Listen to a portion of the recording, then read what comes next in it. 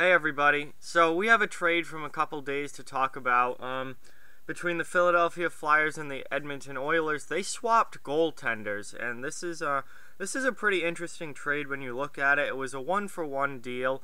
Um, Philadelphia acquired Cam Talbot from Edmonton, who we knew uh, was on the trading block, and they uh, Edmonton got Anthony Stolarz in return. So this is a pretty interesting deal when you look at it. So um, Cam Talbot lost the starting job to Mikko Koskinen in Edmonton. He's had a really bad last couple of seasons.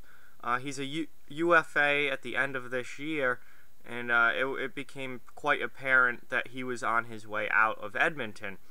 Um, Anthony Stolarz, 25-year-old goaltender, still developing, still upcoming, um, has has played uh, in Philly the last couple of years a little bit. Um, kind of one of those guys who's right on the edge of AHL and NHL. Um, he he's never been like a full time NHL guy for the most part, but he's kind of gone back and forth between the AHL and NHL. Um, so for Philadelphia here, um, you know, I the the game plan has to be to re-sign Cam Talbot. I would think the Philly's probably not going to the playoffs this year. I'm actually pretty sure they're not going to the playoffs this year. So why would they trade a, a you know a, a goaltending prospect like Stolarz for Cam Talbot if they're you know for for less than half a season and then just lose Talbot in free agency? That that can't be the game plan here. So I'm thinking Carter Hart is clearly the guy in Philadelphia. He is their starting goaltender for the future, for the next 15 years, hopefully, for them. Carter Hart is the guy.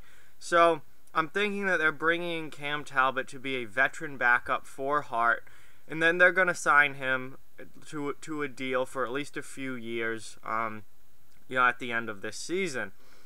For Edmonton, they get you know, they're obviously done with Talbot. Talbot's been horrible for the last two years. Um, Mikko Koskinen has been signed uh, to a deal to be the starting goaltender. They're they're done with Cam Talbot, so they get a younger guy in Anthony Stolarz, somebody who has a lot more, I think, potential upside at this point than Cam Talbot does. Somebody who could be one of those late blossoming goaltenders who maybe really finds his game in his mid to late 20s and can become a decent goaltender. Um, you know, right now he's you know a borderline AHL NHL guy, but he's only 25, and goaltenders do develop slower than a lot of other positions. So maybe at 26, 27, he really solidifies himself as a solid NHL backup, and then maybe by 30, he can be a starter in the NHL.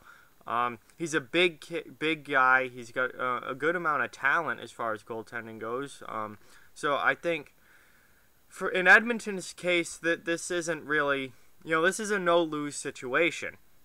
You're done with Talbot anyway. He's not going to. Re- you're not going to re-sign him. He's a UFA at the end of this year. He's gone.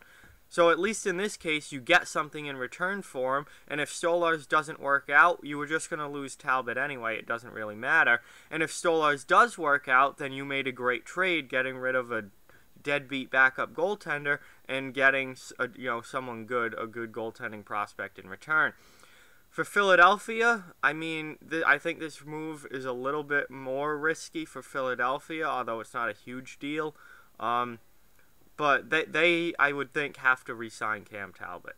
Uh, this move would make no sense if they were just going to let him walk at the end of this season. There'd be no point in doing it. But if they re-sign Talbot, he's going to be Carter Hart's backup next year.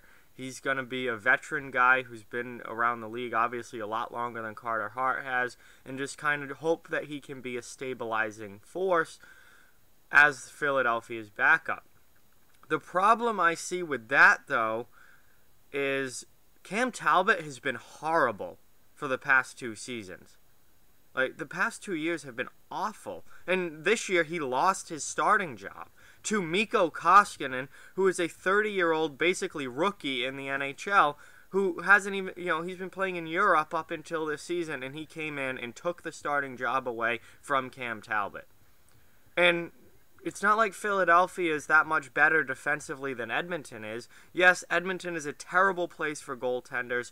It's it's a terrible place for pretty much everybody, but it's a horrible place for goaltenders. But Philadelphia isn't exactly a place where goaltenders go to resurrect their career. Philadelphia is another one of those places like Edmonton where goalies go to die. So I don't know where, you know, necessarily that Philly is a great place for a struggling goaltender to go.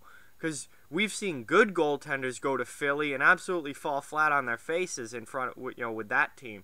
So I don't know if Talbot's really going to play all that well for the Flyers or work out for them. He hasn't played well for Edmonton, but uh, I assume that the plan the plan here has got to be that he's going to be a veteran backup for Carter Hart for at least the next couple of years. That's at least what I think the point of this trade would be. So Philly's going to have to re-sign Talbot uh, at this point to probably a two or three year deal.